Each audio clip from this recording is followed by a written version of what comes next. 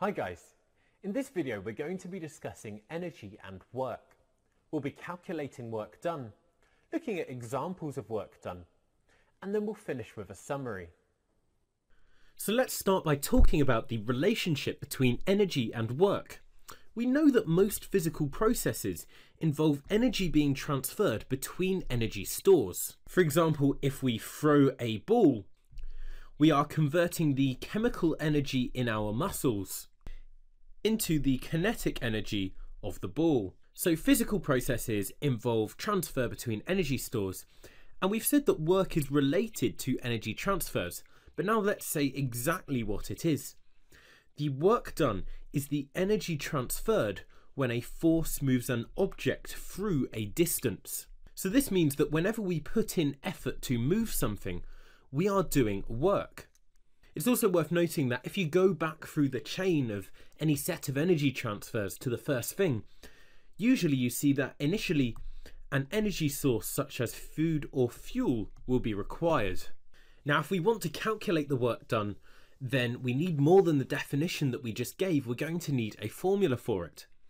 Well, when a force moves an object for a certain distance, we can calculate the work done by this force. So in this picture, let's imagine that we exert a force on this block. Then if it's moving in the direction that we're exerting the force, then it's this distance here that we're interested in.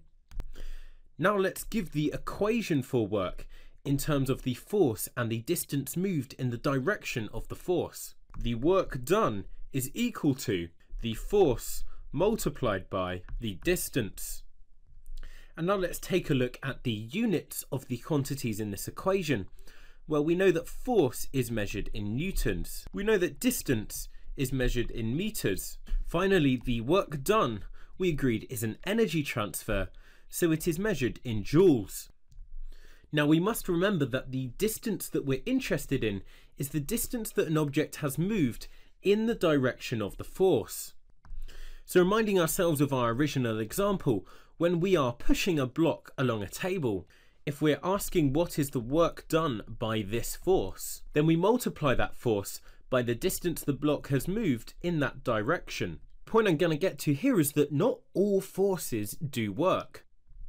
For example, there are other forces on this block. For example, there is the force of gravity that pulls the block downwards. In other words, the weight of the block. But remember, in our example, the block is moving along the table and it's not moving up or down. Since the block doesn't move any distance in the direction of the force of gravity or the weight, the force of gravity or weight does no work. Okay, now we've got this idea, let's have a go at calculating the work done by a force. Let's imagine a box is pushed along a frictionless table by a constant horizontal force of 5 newtons. We want to calculate the work done on the block when it has moved a distance of 1.5 meters in the direction of the force. That feels like a lot of information, so let's pick out the key parts of this question we know there's a constant horizontal force of 5 newtons. We want to know the work done, and we know it's moved a distance of 1.5 meters and in the direction of the force. Okay, so we have the distance and we have the force, so we can calculate the work done using our equation. Our equation says that the work done is equal to the force multiplied by the distance the object has moved in the direction of the force.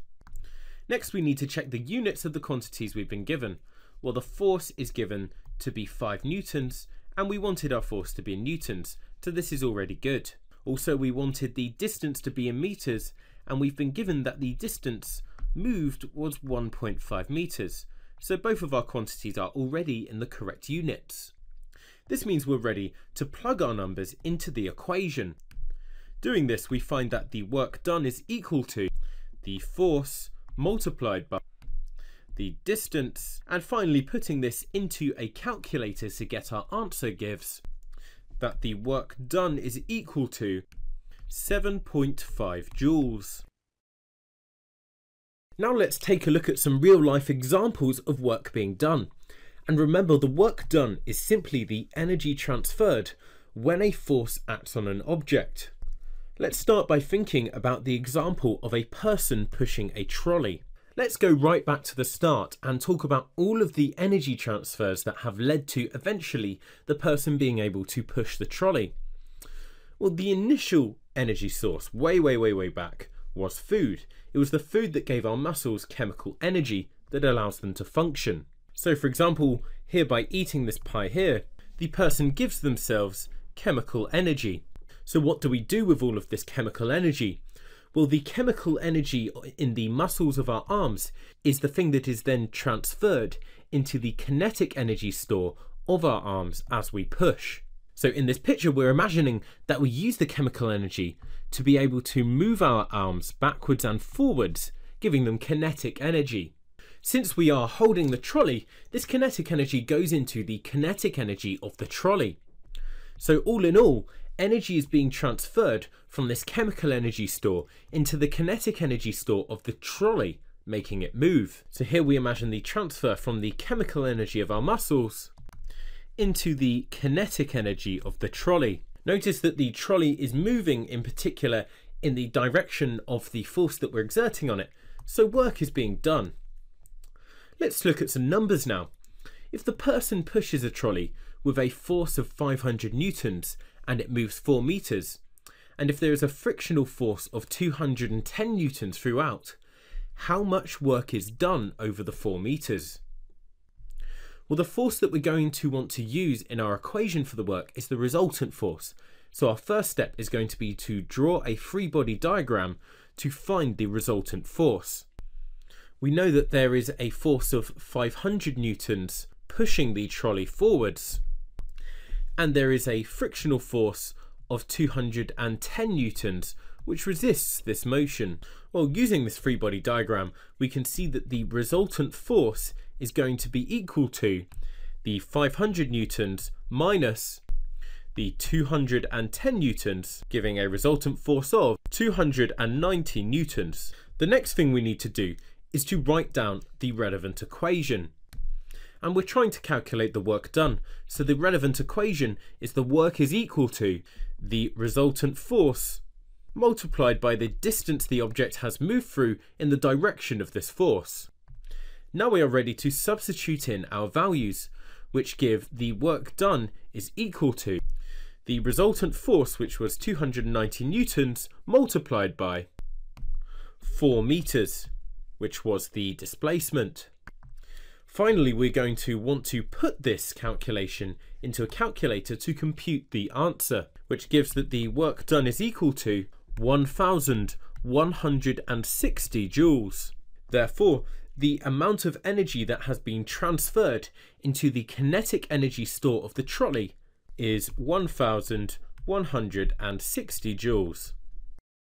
Hey guys, I hope you enjoyed the video.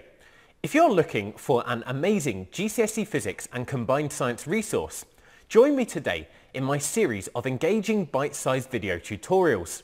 Just click the SnapRevise smiley face and together let's make physics at GCSE a walk in the park.